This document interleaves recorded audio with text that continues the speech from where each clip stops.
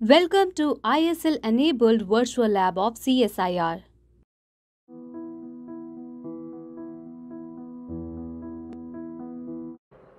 Hello everyone.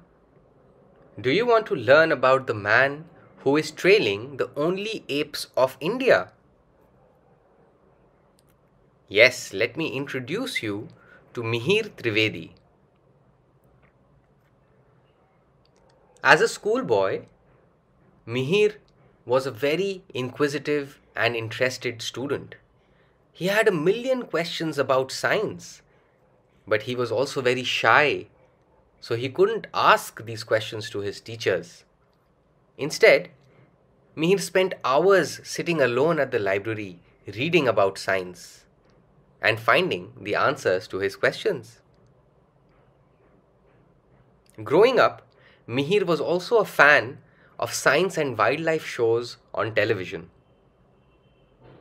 This inspiration was partly due to his mother and grandmother, who were both teachers. His grandfather also had studied advanced chemistry.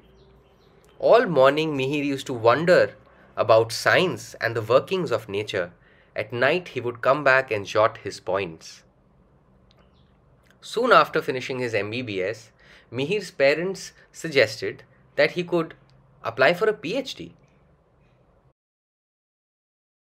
Mihir agreed and applied at the CSIR.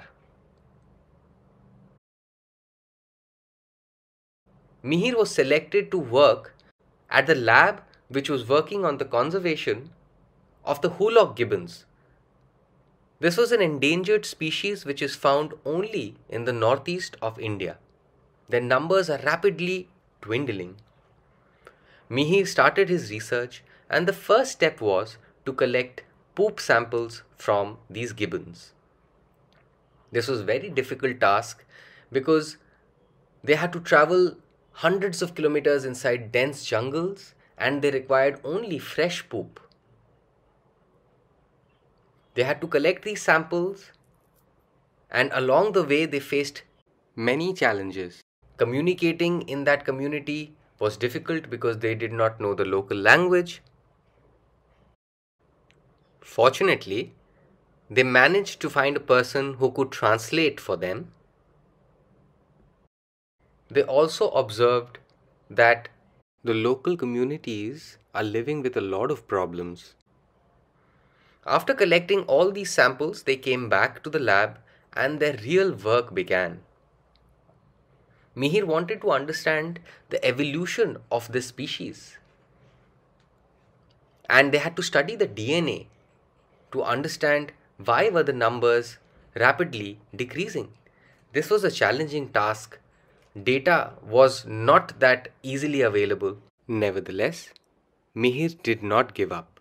He submitted his thesis and was awarded the PhD for his exceptional contributions.